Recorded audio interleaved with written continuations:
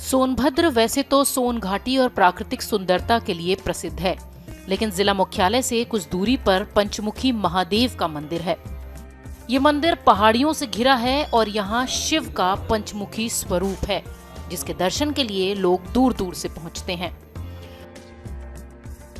पंचमुखी महादेव के इस मंदिर में लोगों की मान्यता ऐसी है कि जो बाबा भोलेनाथ से मांगो, वो ज़रूर मिलता है। कोई भी समस्या हो हम लोग यहाँ आते हैं मन्नत मांग के जाते हैं सब पूरा होता है। ऐसा मतलब नहीं अभी तक हुआ कि मैंने पूरा ना हो। हम यहाँ आते हैं आज थोड़ा परिवार को लेके आना था इसलिए लेके आए। इस मंदिर के शिवलिंग को पांचवी शताब्दी का बताया जाता है। जैसा कि हमने बताया कि ये मंदिर पहाड़ियों से घिरा है। यहाँ निचली पहाड़ियाँ गुफा चित्रों से भरी हैं, जो ये बताती हैं कि ये जगह जनजातियों द्वारा पहले विकसित की गई और बाद में मंदिर का निर्माण हुआ। नेपाल के पशुपतिनाथ मंदिर में शिव का पंचमुखी स्वरूप है। भारत में शिव के पंचमुखी स्वरूप के मंदिर गिनती के हैं।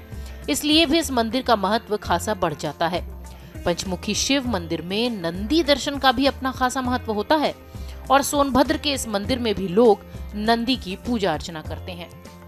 सोनभद्र के इस पंचमुखी मंदिर पर अब सरकार भी खासा ध्यान दे रही है। और इसके रख रखाव और संरक्षण की ज़िम्मेदारी अब सरकार के पास ही है। सोनभद्र से अमित शर्मा के साथ video desk Amar Ujala dot com. Download करें अमर उजाला ऐप और पाएँ खबरें लगातार। अगर आप ये वीडियो YouTube पर देख रहे हैं तो हमारे चैनल को सब्सक्राइब करें और बेल आइकन को दबाना ना भूलें। अगर आप Facebook पर यह वीडियो देख रहे हैं तो हमारे पेज को लाइक करें।